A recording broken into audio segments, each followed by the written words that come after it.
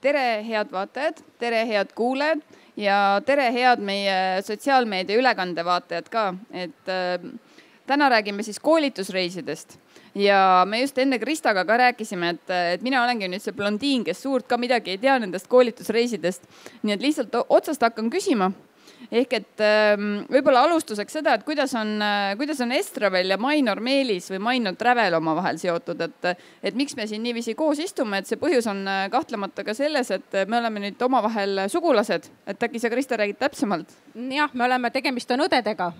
Äh, kui nii võib öelda, et meie oleme siis Estraveli kõige noorem õde. Ehk kuulume Estravel gruppi koos mitme teise toreda reisibürooga ja see on siis juuni, juunikuus saab aasta aga Mainor äh, Meelis on meie ärinimi tegelikult ja Mainor Travel on meie kaubamärk.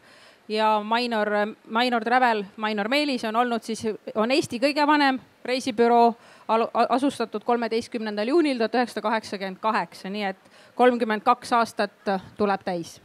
ja mina olen siis olnud seal na, natukene üle aasta kuidas juhtus, et Eesti kõige vanemast äh, reisibüroost sai koolitusreiside korraldaja ja võib-olla alustaks algusest peale, et mida see koolitusreis õietigi tähendab?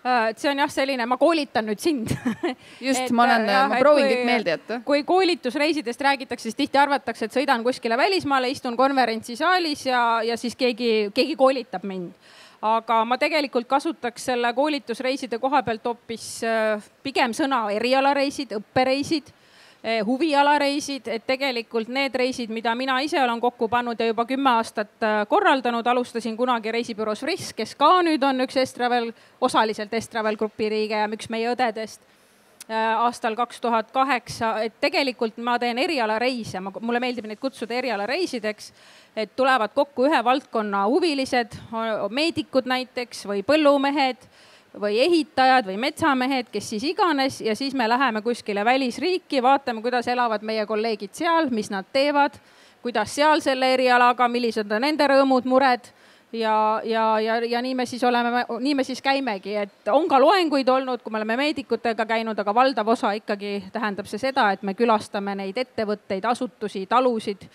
mida iganes siis selles sihtkohariigis, mis meid siis parasjagu huvitab no aga võtamegi siis näiteks ühe koolitusreisi ja, ja kuna me oleme mõlemad Hiiumaalt pärit, siis kas ma ja. nüüd ei eksi, et need põllumehed, need põllumehed, kes käisid, olid Hiiumaa põllumehed? ei, hiidlasi on ka minuga käinud, aga saarlasi palju rohkem. nii et, et aga saare rahvas ikka hoiab kokku et ja palju on Ida, Ida-Virumaal on mul palju kliente olnud, ei üle Eesti, et ja, ja mis on väga vahva, et eestlane on väga uudishimulik et ma olen alati saanud, ükskõik kuhu me eestlaste gruppidega läheme, ma olen saanud alati kiita, et, et küll teie inimesed tunnevad päriselt huvi, sest tihti teatakse seda, et, et ahah, koolitusreis, õppereis, et noh, selge, et noh, linnukene kirjas ja, ja et, et vaatame, kas lähme pärast shoppama või sööma või noh, mis seal salata, pidu panema aga et siis meie inimestelt tulevad väga sisulised äh, küsimused, nii et, et äh, nad tunnevad, tunnevad väga huvi, mis mujal toimub, mida saaks kodus teha, miks see seal niimoodi toimub. Noh, alati ja eestlane alati, talle meeldib ka teiste raha lugeda, et palju sa ikka sellega teenid ja mis, kuidas see kasulik on ja mis sul tööjõud maksab ja mis sul elekter maksab, nii et, et noh. ja tegelikult see annab, mul on väga palju tulnud ka täiesti tavalisi inimesi, küsinud, kas me võime sellele reisile tulla, ma ütlesin, te näete ju kava, et laudast lauta või, või haiglast haiglasse, aga et kui see teid huvitab, et siis loomulikult ja tegelikult sa näed, näed hoopis rohkem, eriti mis puudutab nagu põllumajandusreise, siis tihti me käime ka inimeste kodudes, mida sa tavalisel nii-öelda ringreisil ei, ei näe ega koge. No aga võtame ikkagi need, kuna need põllumehed juba jutuks tulid, et võtame korraks veel tagasi, et need, et need põllumehed, et näiteks viimane reis või sa räägid lihtsalt äkki mõnest huvitavamast reisist kus te käisite ja mis siis ikkagi täpsemalt kavas oli, et kui pikk see reis oli ja mida te siis ikka ära tegite, et kus põldude peal ära käisite? nii jah, et neid on olnud äh, lühemaid ja pikemaid, ütleme, tavaliselt ikkagi nädal et kui sa lähed kuskile, et sa näeksid seda maad võimalikult äh, eripalgeliselt, kui on pikem reis esimene minu reis viis Kanadasse põllumeestega või Lõuna-Aafrika või Ameerika Ühendriigid, kus me oleme korduvalt käinud.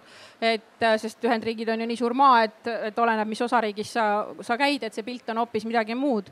et siis tavaliselt ikkagi kümme, kaksteist päeva on see miinimum, ajavahega kohe kohanemine, kõik sellised asjad ja siis ongi, mul on kohapealne partner, Mainor Travel on nüüd ka Atua liige, Atua on siis selline organisatsioon, mis ühendab kõiki põllumajandusreiside korraldajaid. Et see on ka selline kvaliteedimärk, et, et sul on koge-, vastavad kogemused ja oskused olemas, et sa võid selliseid reise korraldada ja siis äh, vastavalt siis sellele, kas meil on siis lihaveisekasvatajad, on meil nii-öelda piimafarmerid, teraviljakasvatajad, siis sellele on see kava kokku pandud, käimegi tõesti põllult põllule, küsitakse, et palju on saagikus, mida te kasvatate, palju on kokkuostuhinnad ja samamoodi käime siis vaatame ka äh, teise külje pealt jälle seda, mis sellele riigile on iseloomulikud, et, äh, et Ameerikas vaatasime maasikakasvatust, virsikukasvatust Californias, avokaadokasvatust, pekaanipähkli kasvatust ja seal oli väga huvitav see, et et maasikapeenrad on meile põlvedeni. Ja siis me küsisime kohe, et miks teie maasikapeenrad nii kõrged on. aga sellepärast, et on lihtsam korjata. Näed, tehke omale kodus ka kõrged peenrad, ei selge ei jää haigeks. väga loogiline iseenesest, mina olen just kogu aeg mõtelnud, et miks nad ei ole nii kõrged. no näed, et ja Lõuna-Aafrikas näiteks oli väga huvitav reis meil meedikutega. Et meid oli kolmkümmend kaheksa inimest vist. Ja ei, seal ei olnud mingeid äh, selles mõttes nõudeid, et kõik me marssisime enneaegselt vastsündinute palatisse sisse aga Ameerikas nägime haiglaid klaasi tagant, noh, kontsakorrusest edasi sa ei pääse, et, et, et noh, neid kuidas öelda, olukordi vastavalt riigile on, et kes kuhu lastakse ja kui lähedalt sa mõnda asja näed, et see sõltub jah sihtkoha riigist, aga igal juhul on see, on see väga huvitav no aga kui võib küsida, et kuidas see siis ikkagi on, et kuidas see kava õietigi kokku saab, et kas, kuidas see nagu algab, et näiteks kui mina olen äh, no ma ei tea, olen, olen kusagilt näiteks Ajakirjanike Liidust ja tahan minna Ajakirjanike Liiduga, tahan minna näiteks äh, Washingtoni tahan minna reisile, et mis siis edasi saab, et ma tulen sinu juurde ja mis siis peale hakkab? nii, peale hakkab, siis sa ütledki, mis sa tahad, siis ma natuke kratsin kukalt, sest ma ei ole ajakirjanikel enne reisi teinud aga hea võimalus. ja siis ma nii, hakkan otsima, hakkan mõtlema, et kas äh, noh, kas osaliselt alati guugeldada, aga alati kõige noh, kindlam viis on kasutadagi siis neid äh, partnereid ja, ja, ja kõige keeruline on olnud teha näiteks meedikute reise, sest neil on väga karmid nõuded. Farmeritega on hoopis, hoopis lihtsam või metsandusinimestega või, või kalandustega, et noh, et see on, see on nagu sõltub nüüd sellest valdkonnast, aga sa ikkagi otsid oma sellise partneri seal sihtkohariigis, kes annab nõu ja muidugi noh, lihtsaks teeb asja see, kui sa oled ise noh, näiteks Ameerikas ma olen ise õppinud ja elanud, et sinna on mul lihtne teha, sest ma tunnen seda riiki väga hästi, ma tunnen neid inimesi väga hästi et, et sinna on lihtsam teha, aga noh, novembris ma käisin esimest korda Uus-Meremaal, nüüd kümne päeva pärast lähen uue grupiga. Et, et siis on noh, närv nagu sees, sa pead nagu rohkem tööd tegema, eks ju, et, et vaatadki, et mis, mis seal on mis võimalused seal on, mis see hind kokku tuleb.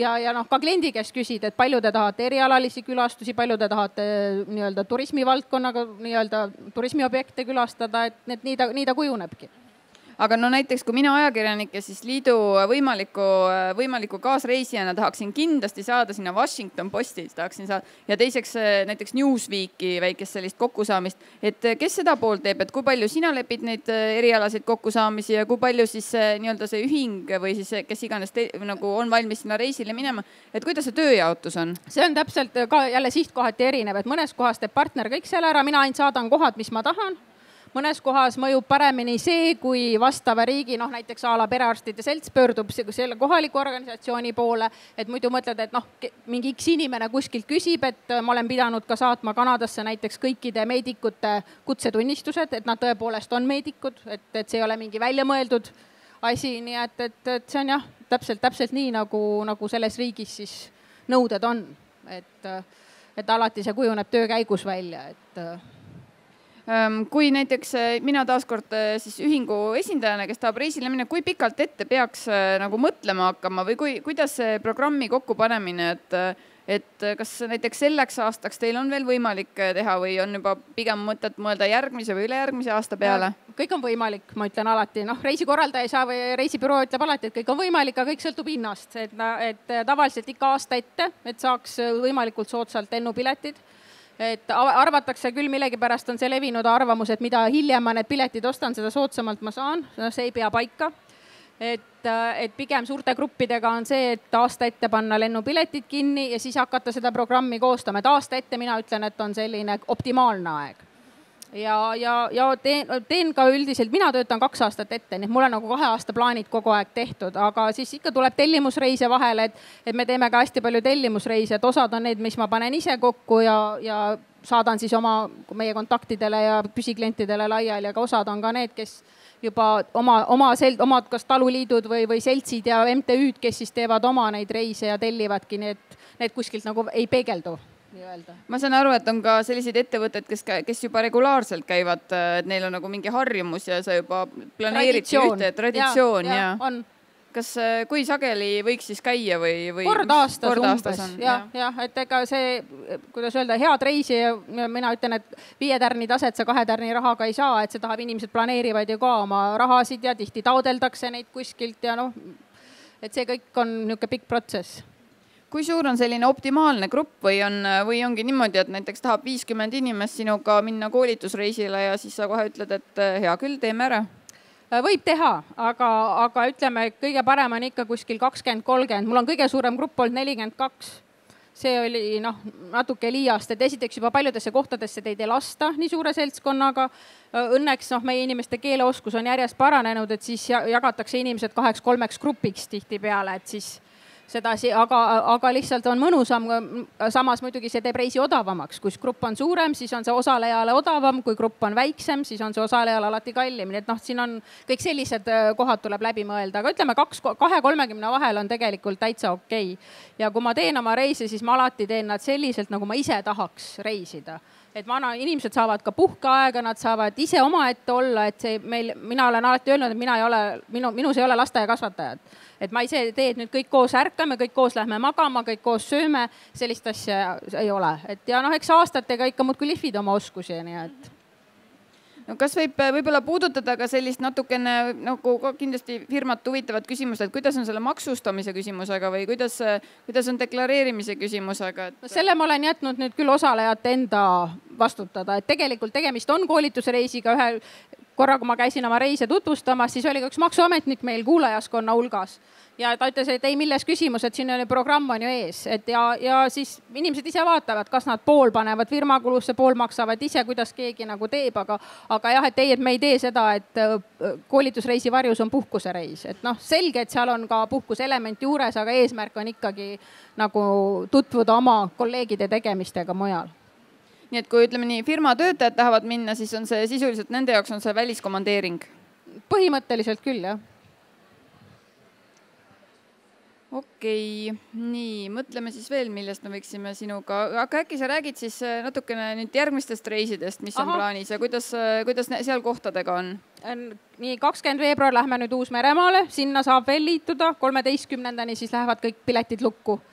ja siis äh, Lõuna-Korea on meil aprillis, see on täis müüdud. et kui keegi veel tahab, siis ma pean va vaatama, kas saab kohti nagu juurde. see on maaelureis nüüd ja siis sügisel on tulemas Lõuna-Aafrika, kevadel on üks Bordeaux reis, selline, see on rohkem selline veini ja gurmee reis, et see on nii-öelda huvialareis, seda ei saa maksuametisse deklareerida. Ja et, et, et neid on, siis on ka ühe firma, ühel, üks firma on, kes oma töötajaid alati viib reisile. nii et, et noh, erinevaid, et selle aasta siuksed pikemad reisid. Ja järgmine aasta on siis meil kavas Namiibia ja Ameerika Ühendriikide idarannik, mis on nüüd kindlalt plaanis nii et nii me, nii me toimetame, aga et tellimusreisidel on alati kohta. Äh, kui palju on selliseid äh, ükshaaval tulijaid ja kui palju on ikkagi sellest, äh, tullakse gruppidega või kuidas see nagu neid reise on tegelikult üsna palju neid ja nad kõik kõlasid nagu päris, päris põnevalt ka et.... eks ole jah, siin on see valikute koht, et, et ma just eelmine nädal kuulutasin järgmise aasta idaranniku välja ja mul on sellest nüüd kakskümmend neli kohta on kinni pandud, noh selles mõttes, et saame muidugi näha, kui ma arveid välja saadan, mis siis järgi jääb, aga et, et no inimestele meeldib pikalt ette planeerida, nad teavad oma rahadega arvestada, nad saavad jupikaupa nii-öelda osamaksetena tasuda. et, et see on nagu kõigile mõnusam, mida pikemalt sa nagu ette tead, aga jah, on, on tekkinud juba oma sõpruskonnad, eelmine, eelmine nädal abiellusid ühed inimesed, kes said minu reisil tuttavaks, nii et ma naersin, ma pean võtma wow. uue slogani, et äh, reisid, kus saatused ristuvad nii et täitsa nüüd, kui keegi nelikümmend pluss inimene ohkab, et ei tea, kust endale kaaslast leida, siis minge reisile ja ärge aga, sööge nina taldrikus. aga äkki see olekski selline uus nišš, et korraldada selliste üksildaste südamete reisi ja siis no. Äh, panedki kokku, et üksi, üksikute inimeste kohtumise no, reis. aga eestlane ju suhelda ei oska, vaata ikka tulebki suhtlemiskoolitusreis teha jah, ja täitsa. see on koolitusreisi vorm, ütleme nii. on, on, on jah võib-olla räägiks natuke sellest maksmisest veel üle, et sa juba mainisid seda, et äh, saab osade kaupa maksta, et mis see siis täpsemalt tähendab, et broneerid ära, siis ei pea üldse midagi maksma? pead või? ikka maksma jah, et kui on äh, reis nii-öelda lukus ja hind on teada ja siis paned ennast kirja, siis tuleb ikka teha esimene osamakse, et, et reisikorraldaja on ju ka riskid, et, et kui inimene noh, kaks nädalat enne reisi pole midagi maksnud ja siis teatab, ah ma ikkagi ei tule, et noh, ja on ka reisitingimused ja kõik sellised asjad olemas, nii et ei, et see päris päris nii ei ole, et ma mõtlen ja vaatan, et, et ikka need asjad tuleb paika panna jah ja.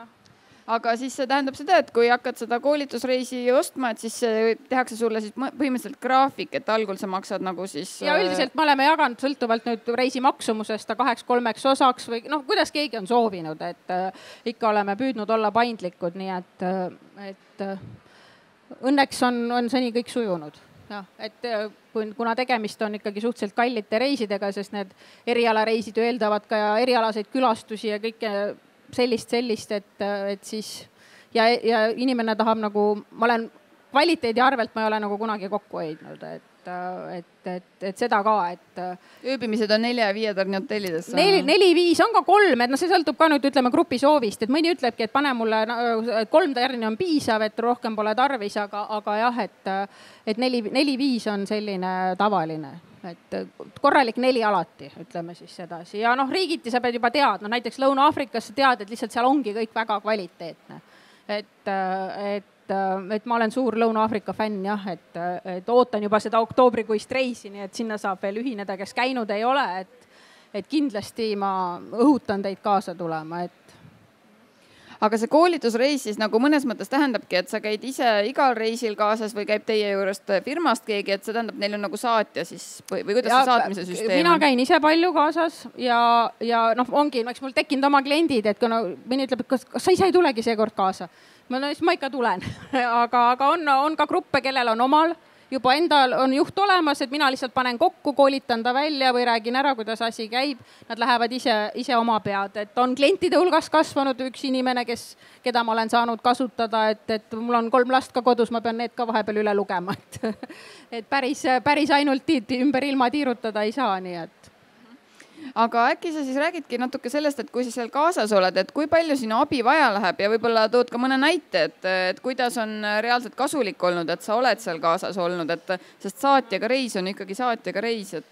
see, see on hästi huvitav fakt on see, et kui nii kui see grupp lennujaamas koguneb, siis ma alati naeran, et inimestel mälu jääb koju Nad ei mäleta mitte midagi, mida ma olen pro, programmid kõik kaasa printinud kaante vahele, mis kell me hommikul koguneme, kus mingi asi on esimene küsimus õhtul bussis, no mis kell me homme näeme et, et aga see ongi noh, see ongi minu töö, et olla nende jaoks seal olemas. Äh, et inimene on, tema on tulnud puh, nii-öelda puhkama, kogemusi saama, mina olen tööl ja et, et nii, nii ta paraku ongi. Ja siis ma ikka ütlen, et kell üheksa sõidame jälle välja. Ja no eks elu on nüüd õpetanud, et ma üldjuhul panen kõik hommikud sama väljasõiduga, et siis mul endal ka kergem. Ma ütlen kogu aeg kell üheksa sõidame välja. Ja noh, kui me oleme näiteks Ameerikas, siis seal alustame esimesed hommikud varem, kuna meil on noh ajavahe.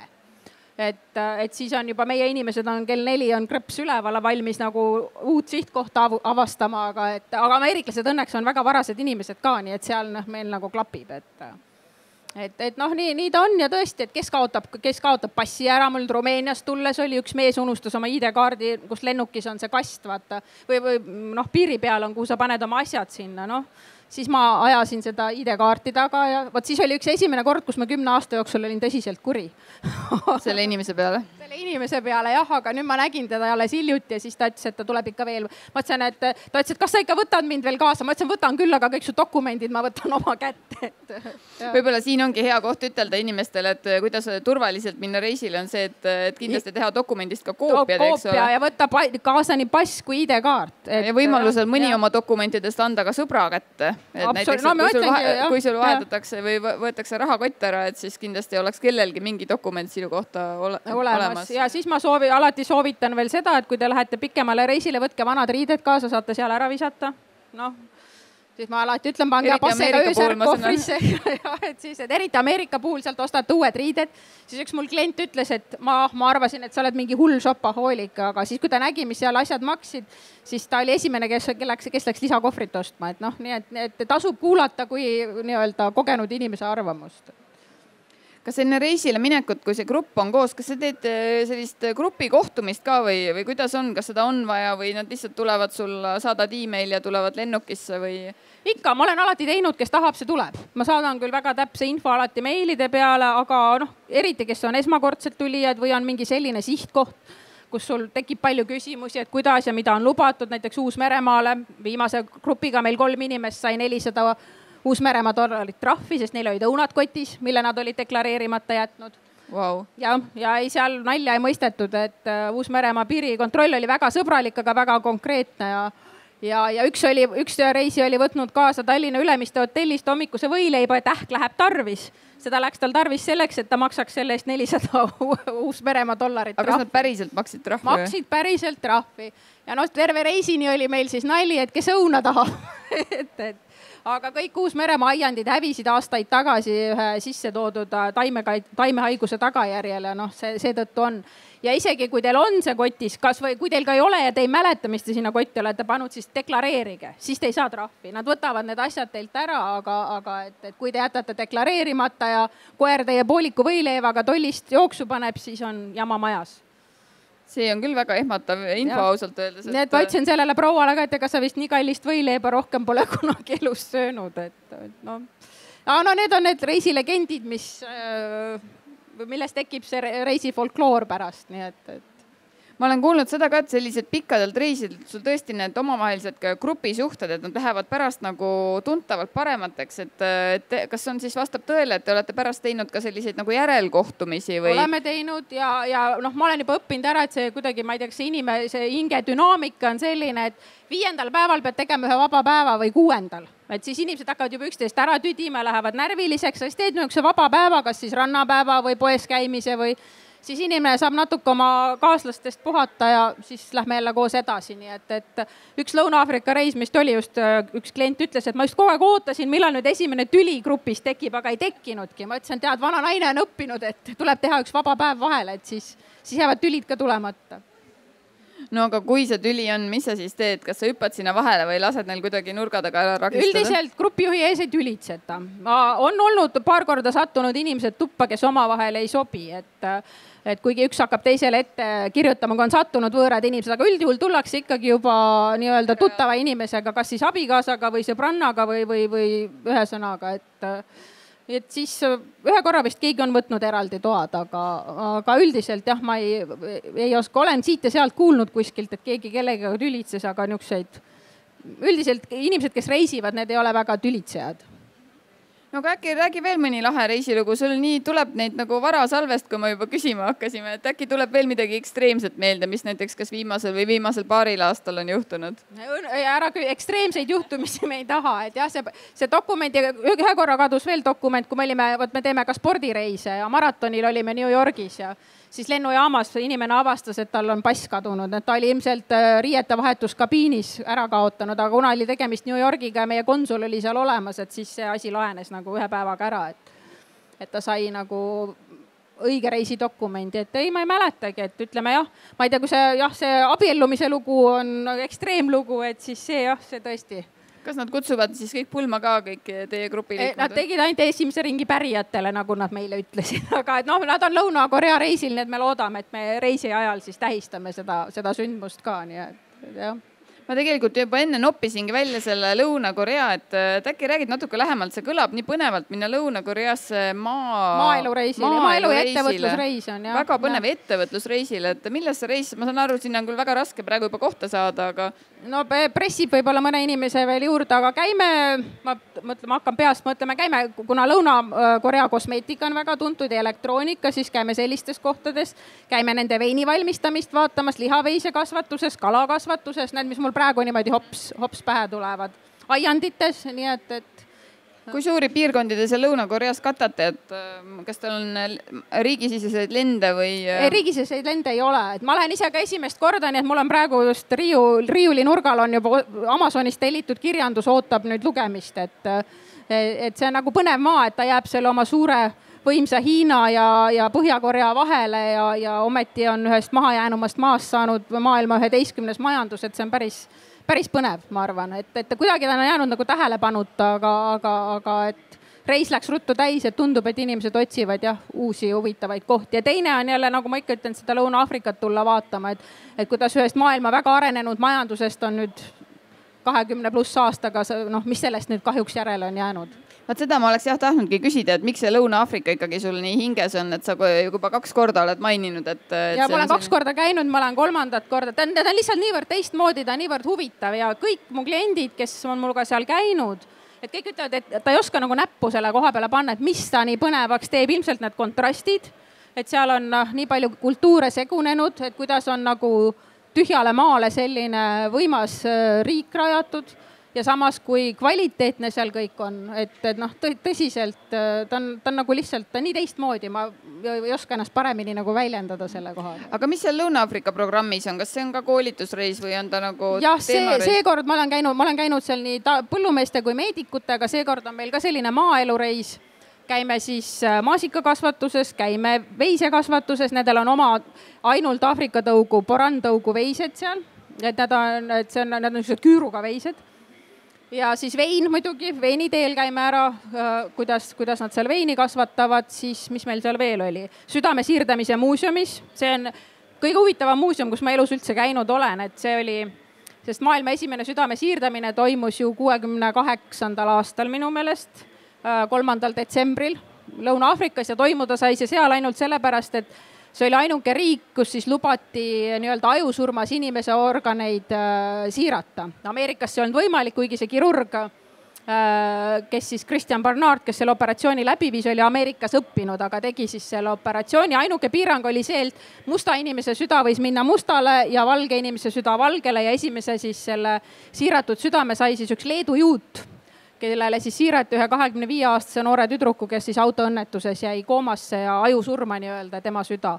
ja see siis on see muuseum on siis tehtud täpselt nii, nagu need opisaalid sellel ajal olid, need meie meedikud olid väga põnevil, kui nad seal käisid, ütlesid, kas sa vaata, kas sa näed, täpselt nagu Tartu Ülikooli Kliinikum kaheksakümnendatel. et ja noh, ja see giid oli seal ka, no ta rääkis selle, ma alguses mõtlesin, noh südame siirdamise muuseum, no mis seal siis ikka on, noh aga et kuidas on võimalik nagu, kui sa oskad asja huvitavaks teha, oled ise selle fänn, siis äh, see oli väga huvitav jah. ja üldse me käisime ka seal haiglas vaatamas, et kuidas siis ka apartheidi ajal, et iga, igal nii-öelda värvusel olid oma värvi taldrikud, triipudega taldrikud ja, ja kuidas nad praegu seal toimetavad ja kuidas slummides elatakse, et see on noh, see on põnev väga põnev ja kui ma nüüd tahaksin näiteks tulla sinuga sinna Lõuna-Aafrika äh, reisile. saadan palju... arve mis sinna arve peale kirjutatud on siis? sinna on kirjutatud päris suur summa, sest see on kaks nädalat, meil on siselend seal sees, me käime kogu selle Kapimaa läbi ja siis ka Johannesburgi juurest kindlasti noh, kui sa oled juba Aafrikas, siis ilma safarita ei ole noh, see on nagu saunas käik seal eile ei viska, ma ikka toon seda võrdlust. et siis me käime ka safaris ja inimkonna hälli juures, nii et see, kui ma ei eksi, siis oli inimkonna häll jah, kus siis seal leiti esimese nii-öelda arvati, et sealt on leitud see Aadam ja Eva, nagu öeldakse, jah.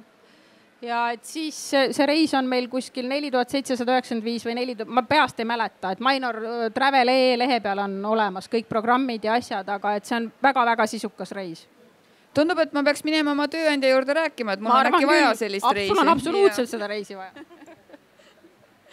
Äh, kuulge, kas äh, meie pealtvaatajatel on äkki mõni küsimus, et, et ähm, teema on iseenesest väga põnev, nimelt koolitusreisid ütleme, õppereisid on parem. õppereisid, õppereisid ja, jah. et ja. kas on äkki konkreetseid küsimusi Kristale sel teemal? küsimusi ei ole, siis saame vist edasi veel rääkida. kuule, aga, aga äkki sa räägid, ma vaatasin meie, meie päevajuht tegelikult vaatas kella juba seal natukene, aga. et kes aga... tahab, võib tulla pärast minu juurde rääkima, ega et selles mõttes, et kui kedagi mingi konkreetne reis huvitab või mm. -hmm aga ja. räägi äkki sellest veinireisist ka natuke, sellest Prantsusmaa reisist, et seda sa mainisid, on selle aasta sügisel või? ei, see on tegelikult maikuuses, ei juunikuuses, valetan. juba nüüd juunikuus? juunikuuses jah, aga me käisime, e-, Eesti Turismifirmade Liit tegi sellise tutvumisreisi ja, ja siis sealt kasvas see mõte nagu välja. et, et väga-väga samamoodi väiksed toredad linnad, veinimõisad, et selline tore, tore lühike viiepäevane juhtme välja seinast kus välja. see Bordeaux. Bordeaux. ja see on samamoodi, kas ta on mõeldud, mõeldud teatud tüüpi ettevõtetele? ei, see on, see on, see on, see on teemareis jah mm, -hmm. see ei mhm. ole, see ei ole, see ei kuulu see, siia plokki praegu mm. -hmm no aga korraks siiski veel teemareisidele laienedes, sina vist oled teinud ka spordireise? jah et äh, äkki räägid paari sõnaga, mis need spordireisid on? spordireis, me oleme teinud koostöös jooksupartneri jooksuklubiga, oleme siis teinud maratonireise põhiliselt ja, ja poolmaratoni reise, nii et, et meil on omal üks ka inimene, kes seda koordineerib.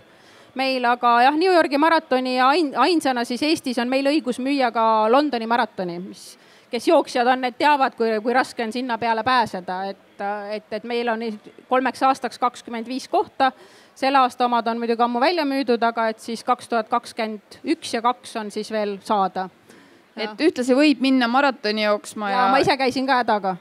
väga tubli aga see õudne, see on väga jube, ma ei saa nendest inim-, ma noh, ühesõnaga ma saan nendest aru, aga, aga et jah, et see on, mõtlesin, ma pean ikka korra läbi jooksma, muidu, et sa pead ikka teadma toodet, mis sa müüd, nii et, et ja no tundub, et jäid ellu. no si-, jah, ega ma päris endine enam ei ole, aga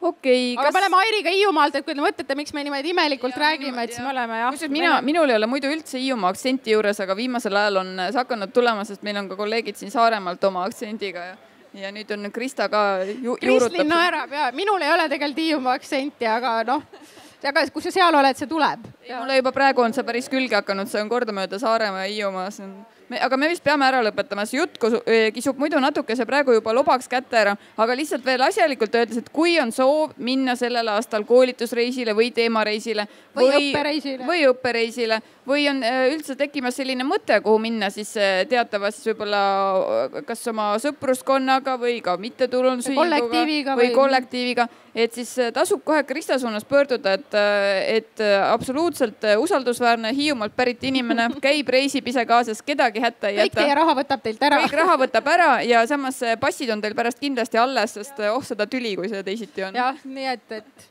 jah, nii et ja sinu, teie veebisait on. minortravel.ee. minortravel.ee, et seal on üht-teist ka üleval, et, et võib pärast seda esitlust Kristaga rääkida, kui praegu rääkida ei jõua, võib sulle kirjutada, mis su meiliaadress on? krista.esta, väga lihtne nimi, at minortravel.ee selge. Maino Traveli lehe peal on kõik meie kontaktid ülemas, meil on Facebook, meil on Instagram, me oleme väga popid. ja, ja., ja ütlesin, tegemist Eesti kõige parima, kõige vanima reisifirmaga, nii et äh, igati auväärne kontakt ja igati turvaline. Nii et soovitame väga. aitäh. aitäh sulle, Krista. aitäh, Airi